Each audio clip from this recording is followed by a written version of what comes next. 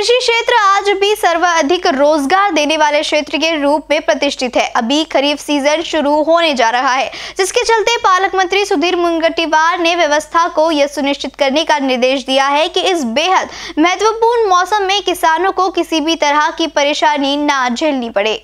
पालक मंत्री सुधीर मुनगटीवार हाल ही में कृषि विभाग द्वारा आयोजित जिला स्तरीय खरीफ सीज़न पूर्व समीक्षा बैठक में ऐसे निर्देश दे रहे थे।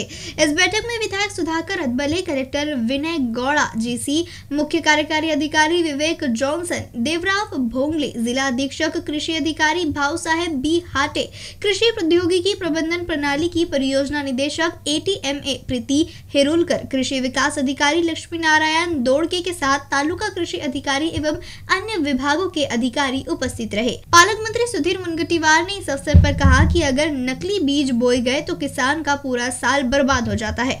ज़िले में नकली बीजों की एंट्री ट्रांसपोर्टेशन और बिक्री न हो। इसके लिए सभी व्यवस्थाएँ चौकस रहे।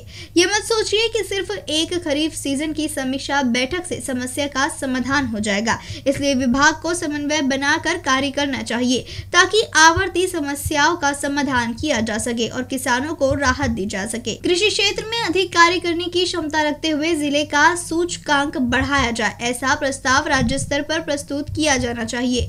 संबंधित विभाग इस बात का ध्यान रखे कि किसानों में अपने विभाग के प्रति रोष न रहे। साथ ही जय किसान मिशन के तहत पालक मंत्री ने निर्देश दिए कि सभी अपने ज़िले के प्रदेश में अग्रणी बनाने के लिए एकजुट प्रयास करे।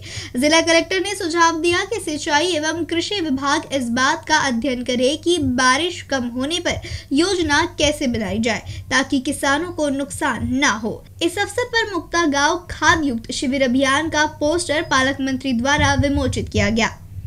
इन न्यूज़ के लिए राजकुमार मोड़ के साथ अक्सा अंसारी की रिपोर्ट।